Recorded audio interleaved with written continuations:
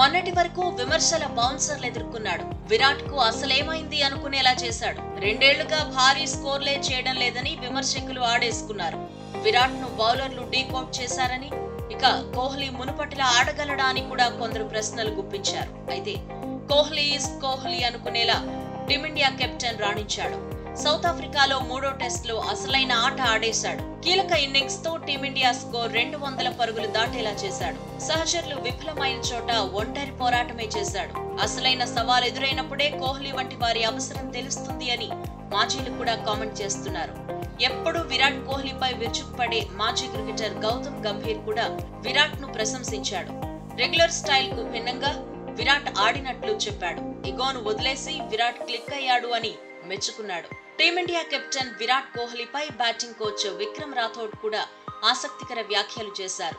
బ్యాటింగ్లో విరాట్ చాలా hard work చేస్తాడని అన్నాడు. కోహ్లీని అవుట్ చేసేందుకు రకరకాల బంతులను సంధించిన టీమిండియా టెస్ట్ కెప్టెన్ కోహ్లీ అద్భుతంగా రాణించగలడని విక్రమ్ రాథోడ్ అన్నాడు. సెంచరీ కొట్టకపోయినా విరాట్ సూపర్ ఇన్నింగ్స్ ఆడేశాడని అభిమానులు కూడా మురిసిపోతున్నారు.